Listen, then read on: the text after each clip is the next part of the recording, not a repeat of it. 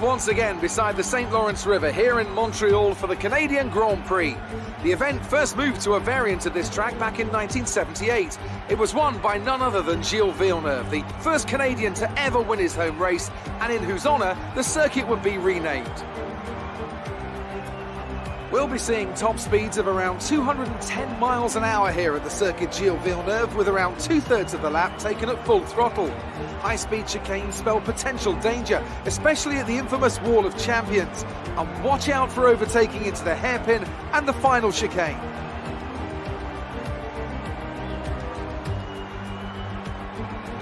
And it's an absolute pleasure to be joined once again by Anthony Davidson. Now, let's start with the obvious topic Devon Butler. They're still relatively new to a sport which does have a high learning curve and, of course, little tolerance for mistakes. And this is something that has ended the career of many a young driver, as that leap up to Formula One proves to be too much. But luckily, in this case, I'd say they're doing a good, solid job, and the risk the team took in signing them is definitely starting to pay off. It's time to take a look at our starting grid for today's race. Sebastian Vettel will start on pole. Fantastic qualifying from the multiple world champion, edging out Devon Butler, who'll start from P2. As we continue through the rest of the grid today, we have Joker, Magnussen, Lance Stroll, and Raikkonen, Sainz, Weber. They'll be starting further back after an earlier grid penalty. Ricciardo and Lewis Hamilton, Perez, Hulkenberg, Antonio Giovinazzi, and Norris. Russell, Verstappen, Daniel Kvyat and Robert Kubica. Gasly and Romain Grosjean sits at the back of the grid. And with preparation...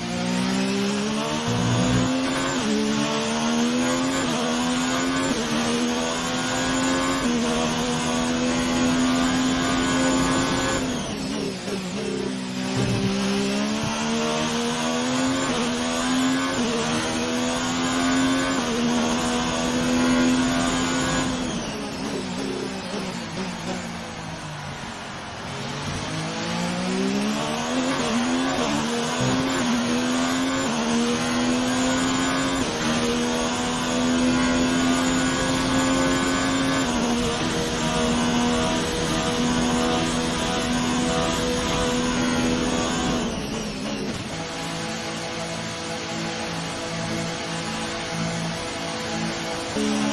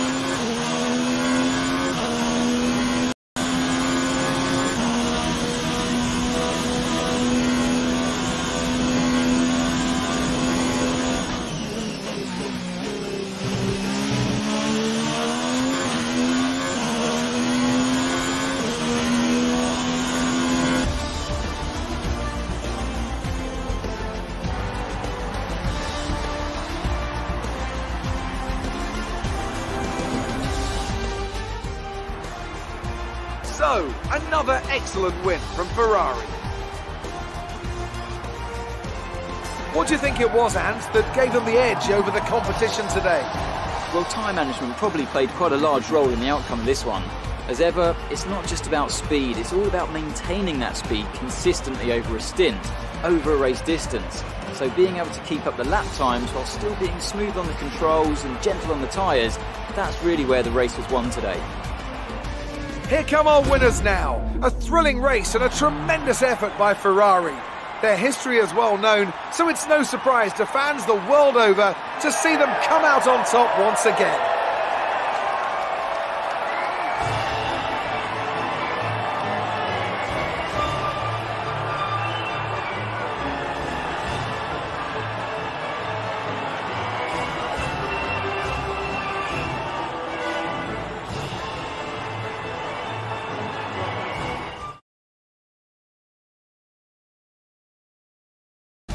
And now let's take a look at the driver's standings. Joker increases their championship lead. Now let's discuss, Ant.